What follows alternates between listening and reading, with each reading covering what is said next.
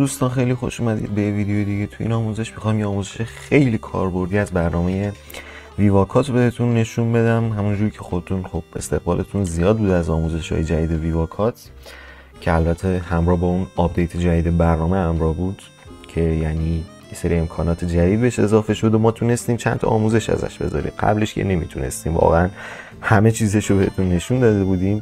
آموزش قبلی بهتون یه افکت بلور از برنامه نشون دادم. این آموزش هم تقریبا مثل همونه ولی درخواستش خیلی بیشتر از اون بود. حالا من روشش رو پیدا کردم می‌خوام بریم که داشته باشیم. به قول خودتون همون آتیز زدن پشت متن بود که یعنی هست این آموزش که بریم و بهتون نشون بدیم. تقریبا شبیه همون یکم حوصلش بیشتره یعنی باید بیشتر حوصله به خرج بدید. و پریویوش هم که حتما می‌بینید الان و بدون وقفه بریم سراغ آموزش.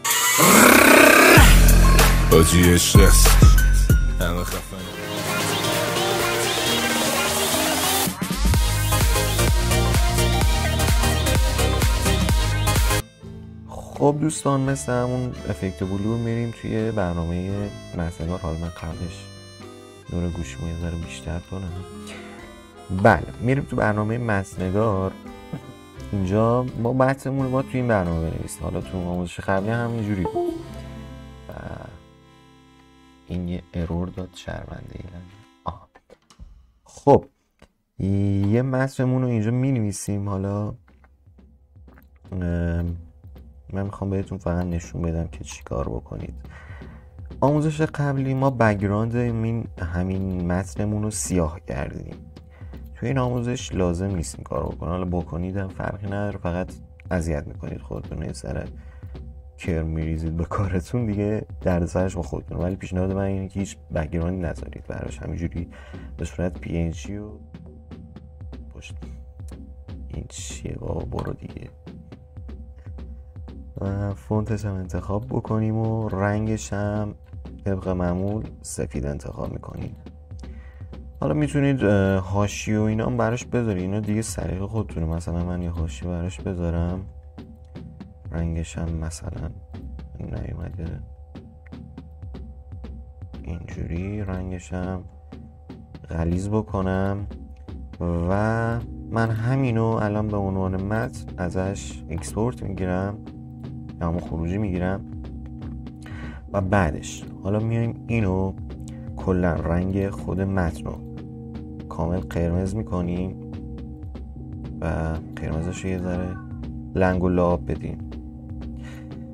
و درصدش هم ببریم بالا. خب حالا ما رنگش هم که بردیم بالا یه ذره فاصله و ایناشو درست کنیم. پشتش هم بذاریم چون فونت یکم بازه اینجا کامل معلوم نیست متن بعدش بعد از اینکه اینا رو انجام دادیم میایم گزینه مات کردن رو انتخاب می‌کنیم و درصدش رو تا حدودی تا انقدر تقریبا نه این زیاده دیگه. همچین تقریبا در همیت می‌بریم بالا و ازش خروجی می نماییم به این صورت. وایسی بدونم میشه هاشیهش رو بیشتر کرد.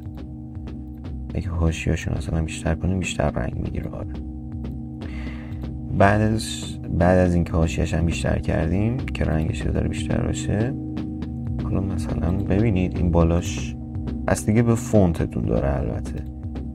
اگه توجه کنید یه خط خوردگی ایجاد میشه. ما حالا بخوایم اینو از بین ببریم اون فونت یه ذره حاشیه‌شو بیاری پایین. این دارم که کم ترمنی باشه. به هر حال اینو دیگه بستگی به فونتی که انتخاب می‌کنید داره و این هم ذخیره بعد از اینکه اینا رو متن رو درست کردیم باید همه متن رو دونه دونه بدونه اینجوری ایجاد کنید به و بعدش میریم تو برنامه دیوارکات اینجا. و این پروژه می‌سازیم.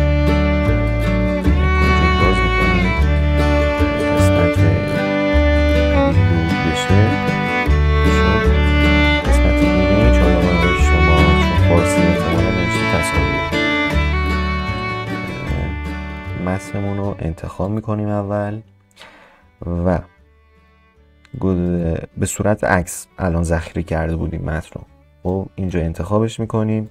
میایم گزینه ریز رو انتخاب می‌کنیم. بعد از اوورلی رو کلیک می‌کنیم روش.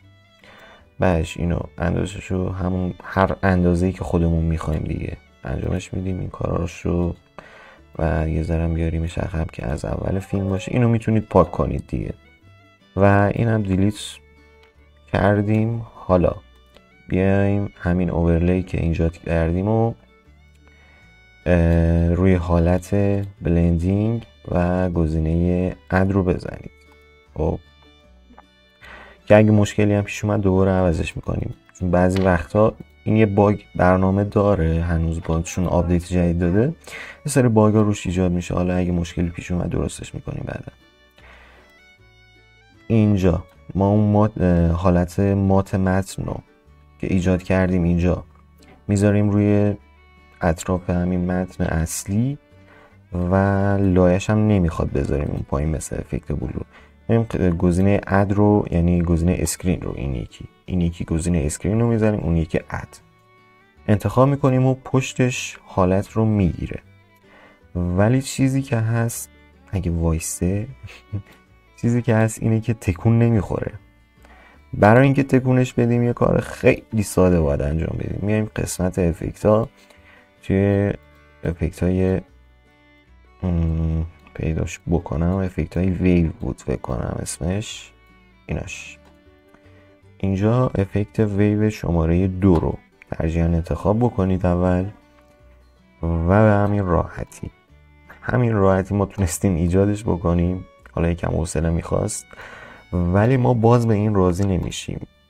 شیوه ما اینه که بیایم اینو دوباره یه دوپلیکیت بکنیم. همینی که اون پشت بود.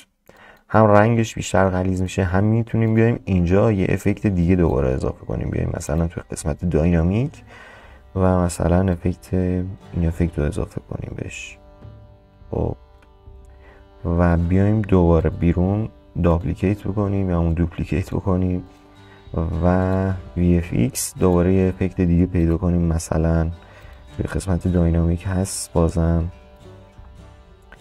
مثلا یه افکت نمیشه کرد. چون اون ویو شماره دو فقط به این سمت داشت حرکتش می‌داد. اینو یکم به هم ریخته ترش می‌کنه به سمت های دیگه هم حرکت داشته باشه.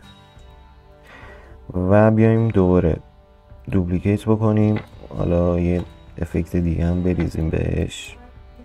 مثلا بیایم دوباره قسمت قسمت چه افکتی پیدا کنم مثلا. ببینم ویو داره بازم. شماره یک ببینم به درد می‌خوره. نه زیاد جالب نیست. دوباره همین سمته مثل همون ویو شماره دو.